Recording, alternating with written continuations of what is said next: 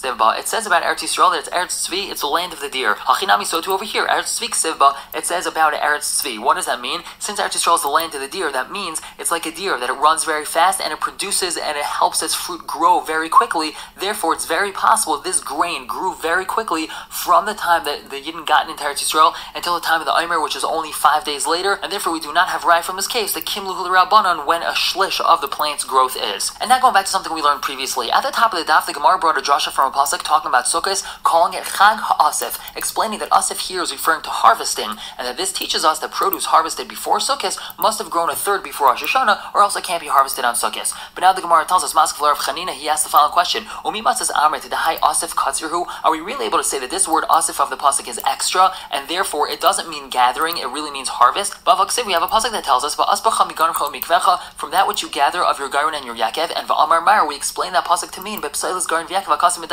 The pasuk is talking about that which is gathered from the and the Yakev, and that's used as schach. Namely, this pasuk tells us that schach has to be made from that which was gathered from after the harvest. So why are we assuming that the word asaf of our pasuk is extra, and therefore can be reinterpreted to mean harvest? Perhaps sukkah is simply called chag ha'asif, as we see that which you put on your sukkah, that which is your schach, is called asif, is called that which is gathered. So therefore, sukkah is just called chag ha'asif, and it's not an extra word. So Amr Zera, he says, Ha milsa biyadam. This is something that we had in our hand, meaning we thought we had a really great drasha to teach us that uh, something that grows a third is considered fully ripened, and therefore as determined by the year grew a third in. But then Va'asar Chanina, Shadabei Narga, Reb Chanina came and he threw an axe at it, and he just showed us how our drasha is not correct. So Elaminol, and how do we know this halacha of a shlish, that if we have grain grapes or olives that grow a shlish, they're determined by the year they grew that shlish in for Meiser. So Kiditani, we have a brisa, Rabbi and Yosef Eimer, he says, the Pasuk tells us about Shemitah, that the sixth year is going to produce enough grain for three years. But what are we dashing from the Pasuk? Yid Gimel base on top. I'll take real Shlosh, Ela Shlish. Don't read it as L'shlosh, meaning for three years, rather Shlish, a third. So we would read the Pasuk as Va'asa Satvula L'shlosh. The grain is already considered having reached the stage of maturity once it's reached a third of its growth. As the Gemara, hold on,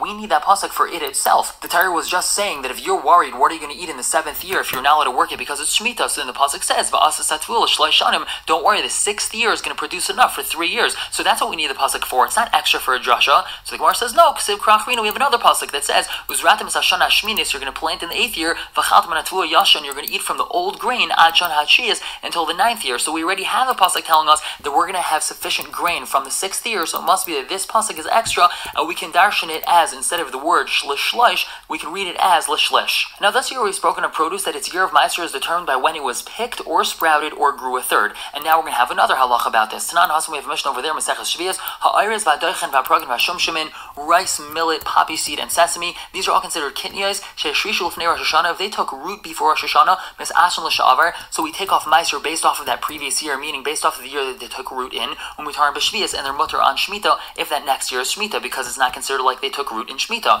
Ve'im lav, but if not, meaning if they took root after Rosh Hashanah, Asurim B'Shvias, or Asar and Shemitah, they're considered like they are shmita fruit, and Mis Asun l'shan haba, we take off their Meiser based off of that next year, meaning if the next year is not shmita, but the next year is a different year, so then we have to treat it like that hmm. next year. So we see from here that the Meiser determination of Kitnias is when they take root, Hashrasha. Now, Amar Rabbi, he asked the following question. Amar Rabban, the Rabban had said that Elon Basar fruit growing on a tree, that is Basar Chanata, meaning Basar their emergence, after the flower falls off and the fruit starts emerging, that's when we say that it's year of determination of Meiser is. And Tavua Vazesem, grain, grapes, and olive is Basar Shlish after it grows a third. And Yerek, vegetables, is Basar Lakitas after we pick it. Now, Hani Kamanchevin Rabbanan, what are these Kitnias being equated to that we say that their determination is Hashrasha? So Hadar Marabba, Rabba then explained why is it the that Kitnias goes Basar Hashrasha and not, let's say, Basar Lakita after it's picked? That's because Mitach Shasuyim Prachin Prachin, since it's harvested slowly but surely, so as their Rabban Basar Hashrasha, their Rabban decided that it's smarter to go Basar Hashrasha when they take root and not when it's picked. Why is that? Since they're harvested only a few at a time, if we would go Basar Lakita when they're picked, then it would turn out that the same crop would have two different Meiser requirements,